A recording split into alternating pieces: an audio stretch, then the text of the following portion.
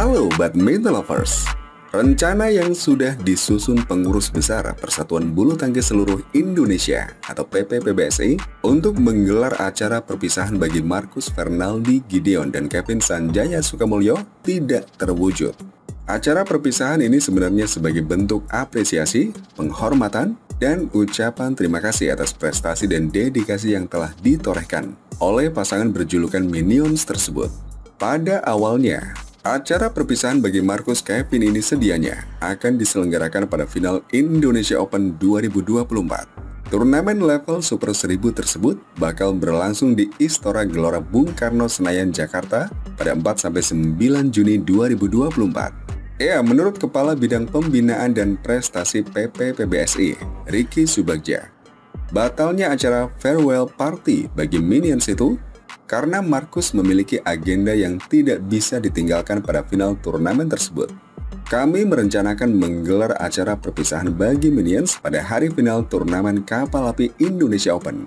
Sayangnya pada hari itu, Markus berhalangan karena dia memiliki agenda lain yang tidak bisa ditunda tutu Ricky.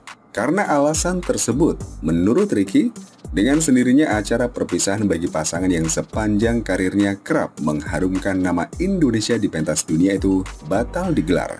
Markus tidak bisa hadir di acara perpisahan yang telah direncanakan oleh PBSI tersebut.